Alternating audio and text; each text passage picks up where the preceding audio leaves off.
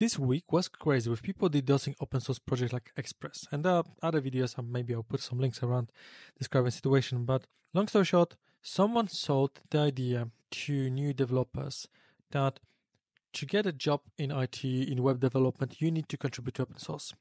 This is a very bad idea. To contribute to open source, usually you are contributing to existing projects, so you need to understand A, technology, B, you need to understand the things you're contributing to. So to understand them, you need to work with them. You need to find actual problems. See, maybe there are some alternatives. Maybe someone actually fixed that already. So you need to play with that a little bit, get some experience. And then in the last result, you are contributing. But what people did, they just made very funky, very strange, very bizarre pull requests adding their names to README files, like bonkers. And I will show you in this video how I was contributing over nine years, like nine years. It felt like it was yesterday, but I joined Node community nine years ago, moving from PHP and vanilla JavaScript Word and creating frameworks for companies like Nokia. But I was contributing and I got some amazing badges like Arctic Vault badge on my GitHub. But as you'll see, a lot of my contributions don't count. They're not even visible on my profile because the way how people are using them. Sometimes you may spend a lot of time and a lot of effort contributing to open source and it wouldn't mean anything. I hope this will show you it's not as simple as make contribution and you get a job. It's not as simple. You make contribution, you'll be rewarded. Sometimes you'll be abandoning stuff. Sometimes you will see things that were just dumb and were bad ideas and people shun you down, but you will learn something from that. Let's go on that will be very honest video showing my growth over the years. The first contribution was pretty bad. So this is OctoKit. If I remember, there was library around Express to manage multiple identities. I think around Express and Passport. I wanted to support e-tags, which I used normally for requests for caching, managing the cache, to ensure that browser wouldn't download things too many times if they're really heavy cached. I made PR, which is bad. I wouldn't be showing or maybe I'll show you. PR is bad because it has a lot of formatting. Actually, I hid it, but I cannot read it. And I have things over here. I saw there was some console log flying around, which was bad. Maybe this one, some other. It is bad one, and wasn't merged. But what happened was at some point, guys started to have some problems. They closed my PR and they started to discuss that. They started to discuss the, exactly the same thing. And find the workarounds and find different solutions in the project. So my code wasn't much to the project, but punched the contributors in the direction that there is some need and maybe they have better idea how to solve that problem than me. They didn't like my way, but they did like the use case I had. Another project, quite nice one, is GitHub tools. GitHub, I think there was some toolkit for Node to talking to GitHub API. Is it relatively big? It's relatively big project, like almost like 800 folks. That's big project. And the change was silly. I had to, probably for some middleware, expose XHR, which was done for request. Maybe I wanted to read some extra metadata headers. I don't remember. One thing, I really don't remember what I did. So probably it would be better if I put more explanation contributor, she accepted that she liked the change and it was merged. It was nice, cleanly merged. Was it? No. She cherry picked. So this PR is closed with my changes in a code base, but nothing on my profile. Ta-da! Let's go further. That's the project. Another one, ProseMirror. The author of Prose Mirror, Marijn, is one of the most opinionated people on earth, like Linus Torvaldsson level. He's an amazing engineer. I think he wrote Eloquent JavaScript one of those books. He is amazing as an engineer. His code is bonkers and it taught me many things. So my problem was that I was forking his project. I was using some linting tools which weren't happy with his project. They, eh, they thought where the he's shadowing some variables where he actually wasn't. And he made very nice comment, which now I appreciate after years, which is saying in any case, I don't feel compelled to make my project code conform to whatever linting rules other people are using. And this is fair comment. He shut me down, but he gave me quite good lesson. Not everything is for everyone. But let's move on. Support dates JSON to YML. I had a situation when my app was using JSON, my DevOps or something else was using YML. We needed this bridge and it didn't support dates. And my change, except some, I have no idea what I did, some reorganization, some mess thinking around. That's actually the change. Whatever. Um, it's just dropping date in proper format. And it's, it's. That's on my profile. Yay! Another one, Atomus. I think there was server-side rendering HTML to string. I had to drop some dependency because it wasn't building, wasn't upgrading, whatever. Made small change. This actually, clear enough. Context It's merged. Nice. But nothing too complex. Another one. So this is for Cloudflare project. No, Cloudflare. Some some adapter for Cloudflare. I think I was doing something with revalidating cache, uh, probably for one of my static websites.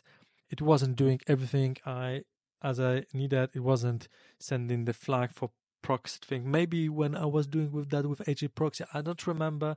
Maybe I should put more context. There, there was some that originated from some discussion on the support. I made pull request. It passed, and it's merged. Manly. It's not on my profile. Yay! I'm again contributing and have nothing in return. See, already I wouldn't be hired for that. For all these contributions. Let's move on. NGX admin. I was contributing to few MEAN stack projects. So many changes, so big thing. Some other one closed, merged, etc. Long discussion, everything. And at some point, there are still some issues. Things are not building. Guys see the problem. But I'm already gone. I moved on. I never came back. In fact, someone else made another PR and fixed the issue when I wasn't around. Which means if you have own your own open source project, it may happen. People will start something, will give you PR, you'll give them feedback, and they will just ghost you. And it's normal because they cannot expect you to spend some time on reviewing their PRs, checking if your contribution is worthy to be merged. The same as a maintainer, you cannot expect people to come back and do whatever you want for the project for free. Really depends on person's will and time, etc. This case, it just died. It was a lot of effort. See, 250 P commits in that one PR. That was a problem. Only 8 files challenge. That's bad. Another one, smart table for some Angular 2 component. Made PR, found its duplicate. What's the change? Was it worth it? Come on, one liner. Did it spend too much time? And another one, Angular busy. I think there was screen loading component. I think I was upgrading to Angular merged. Maintenance accepted. Fixed code coverage for MFE started something. He accepted and closed it. No idea. CC5. This is something for packaging SCSS. The maintainer accepted my comments, but decided like they want different way to do it, and just closed it. For Vinyl, Vinyl was a file system extension used uh, hugely in Gulp. I had some problem with low level things which I don't fully understand. I kind of fixed but the guys gave another way and they just closed it. Oh, I closed it, but they solved it. Support regex in xhr-mock. This big project for mocking up requests for tests. That quite clean. Let's see. Is the big change? Nah, just some types. TypeScript project. That's actually cool. Needed it for some tests. Social login, adding prompt, uh, contextify, ping pong with a maintainer. I just closed it and said I will come back and never came back. I was contributing to website for LNUG, London Node User Group, and I printed some list of events. Ah, yay, I'm contributor, hooray. And one of those who landed me on the Arctic Vault, it's Gatsby. So I was playing with Gatsby. I didn't do anything big there, honest. But I was finding issues because I was learning GraphQL and I wasn't seeing the errors because Gatsby was swallowing them. So I spent so much time debugging, so much time debugging, digging into stack trace, brain hurt. But then I found it, made PR, which is tiny, absolutely tiny. I'm changing regular expression. I'm good in regular expressions. Look good to me. Got Kale said, nice catch. Uh-huh, Kale. Thank you, Kale. And it's merged and I I got squawk. I I think I got some socks from them. We got some socks. I still have those socks. Missing example. That's probably some yeah, missing example in documentation. That's kind of good PR. So I was using their library. I was using Gatsby learning and I found there are things not explained very well. So I spent a lot of time reverse engineering trying to figure out how to do those things. Once I did it, I documented and that went, that was merged to documentation. Amazing. That's a good contribution. Gatsby starter, Fabian, amazing developer. He merged some changes. What are we did? Google Analytics and Google verification. So probably some examples how to use those things with with um, Gatsby. I'm not using Gatsby for years now, but it's over there for you, free to use. Why I needed that? Because I needed to use Google Analytics and verification. Wow, Gatsby Starter, and again, fixing Disqus plugin. I needed that. I was learning. I needed that for my blog. And yet again, some errors eaten by the Webpack. What was that? Is it another regular expression? No. So over here, it seems like some in some data flow, some errors were swallowed. They didn't pop out. You didn't know what's happening. Very small PR. Hours and hours and hours of debugging. How many lines we have? It's like five lines of code after hours of debugging. Ta-da! Merged. I'm contributor of Gatsby. And again, Gatsby. I wouldn't even dig into that. And Prebid, I was doing something with AdOps, uh, advertisement, and this was this one. This one actually was interesting. So normally their code was perfect. Their code will work. It's just using for let in. It shouldn't make any difference. But we live in a times where people were patching array objects, especially in AdOps, and micro optimization for how JavaScript works in a browser. People are wrapping native classes, trying to catch, observe everything. And then it turns out that iterator wasn't working anymore on those arrays and we had to patch it. Bonkers. Why I that? Because I was working on a project using that. And then after Gatsby, I moved to Eleventy, amazing project for static websites, far lighter than Gatsby, of course, because just doing HTML, there were some assumptions in the project that forced you to weight collection a specific way, and it made quite difficult to use things like tags or a different taxonomy. So I made my own plugin, which I will show you in a second, and I needed some changes, so I did add them by option. So everything worked in a way how it was before, but you can pass some option to configuration, and it started to work in more scalable way Zach was amazing developer, creator of Eleventy. Had discussion about that. People were going back and forth. Some people are still like were voting for that in this discussion. We need that. It was never merged. It never changed. I'm not using Eleventy, but there are some people using the fork. Yay! And another big vendor, iFramely, one of the biggest repositories for embedding stuff on your web page. They have a commercial version, they have an open source version, and that has a problem with YouTube plugin APIs, whatever. I made PR. It is closed. They didn't like. No, they merged that to develop branch manually, and it was released. But I'm not contributor officially, but I'm contributor. Ta-da! Not on my profile. I'm not being rewarded for contributing to iFramely.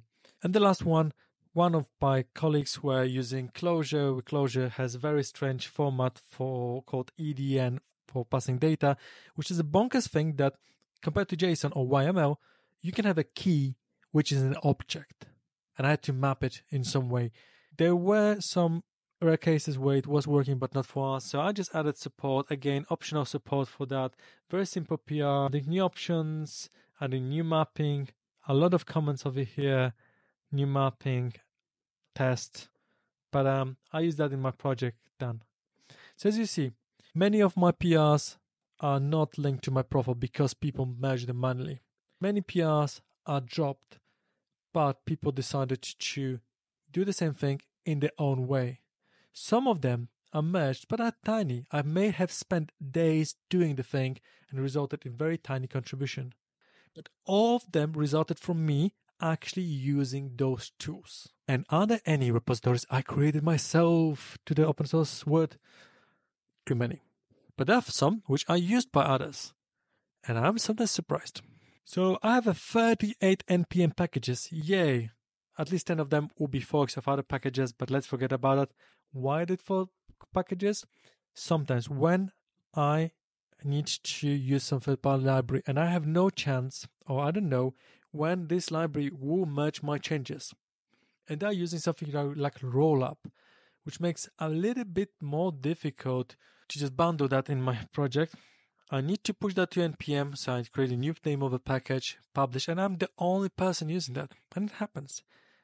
Later, when they merge, I just abandon or kill that project. Usually I just abandon because maybe someone is using that, and if I remove that from npm, that could be another left-pad scenario killing one other project.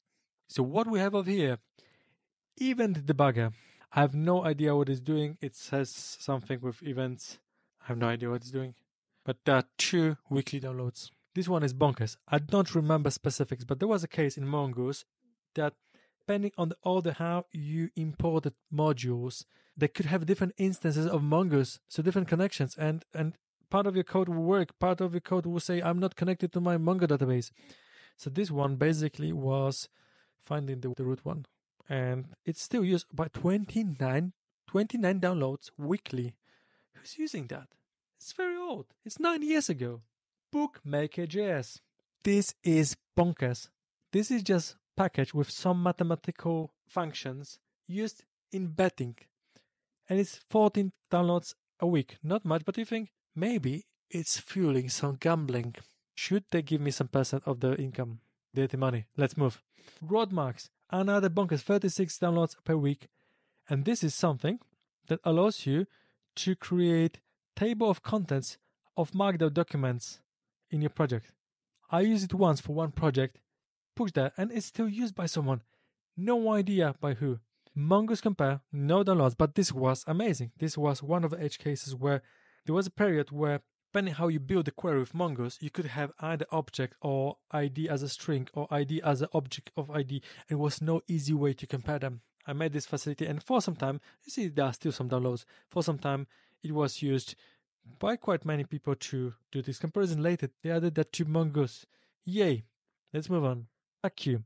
TagQ now currently not used because it's resolved, but in the early days, especially around attack, when you didn't have things like Google Tag Manager, you had to control the way in which order you are loading different tags, different third parties on your website, especially it was newspaper website, etc.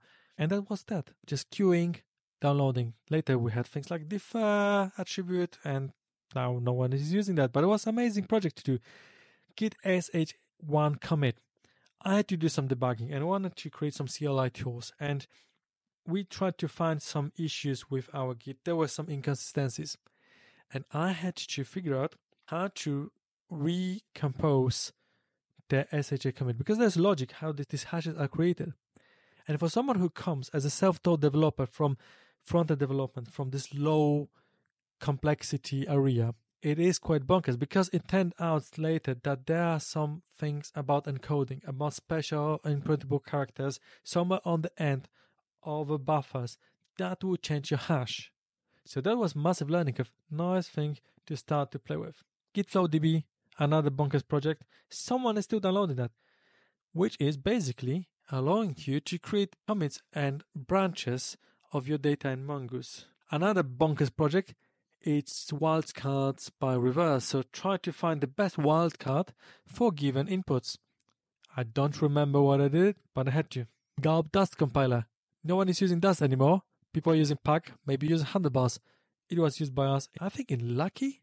I even did some dependency injection toolkit for Node, and someone is still downloading that. One project actually I'm quite proud of is POM, Page Object Model, which was one of the concepts we did when we were doing Lucky CMS in Enigma services, when we tried to show the document as an object. At this time, there weren't many projects doing that. Most up to this day, I use HTML as a document format, and only recently we have projects like Editor.js.io which are using this concept. So it was quite cutting edge at the time. Lucky CMS had small adaptation, but it was quite nice. It was a very good experiment, which I'm using to those days in building CMSs. It's a very nice and flexible way to represent content when it's semantic, when it doesn't have all this markup, all the styling. It's magic. And you can reuse that on native, you can reuse it on desktop, on mobile. We recommend. Maybe not this project, but maybe you can take a look as a reference how to build models for your data.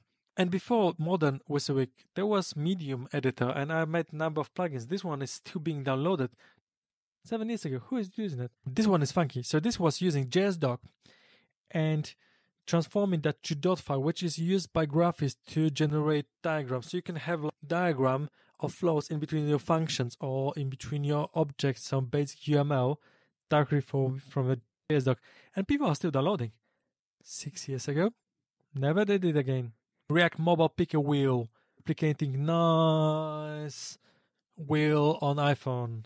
I did it for Push4, I think. And Eleventy plugin block. Again, I was using Eleventy for my blog. I had a lot of taxonomy. It wasn't well supported. I made a plugin. I was using that. Then I abandoned. Some people are still downloading that. Even some CLI to create Git commits by Jira. And another bonkers project I had is use state transition, which is hook that creates something like state machine, but focus on transitions in between specific states rather than normal on leave on enter on specific states. If that makes sense. In rare cases, it makes sense for the logic I had to implement in one project, and I couldn't find good implement- implementation. I spent over one month checking every single third party if I can achieve the same thing. I couldn't, so then I wrote, and we're using it in one of the projects. And I found it amazing. But to be honest, now I will be rewriting that to use a reducer because it will be much simpler to maintain. And one package is actually from PR, which was merged to use editable by Formidable Labs, amazing team. So use editable, amazing um, hook they're using for WYSIWYG, like content editable, and it had problem with working in iframes. So I didn't know because it was quite stale project if they would do anything about it. We make PR, and I didn't want to wait for them to merge. So I have this package. Now I'm using that in my project. In the meantime, they merged it so I can abandon this one and start using the main branch. That's how it works. So I hope you enjoyed this quite heavily edited clip. It wasn't too boring. And the next one, I'll tell you about how I learn how to write books as a software developer. And you can check this video.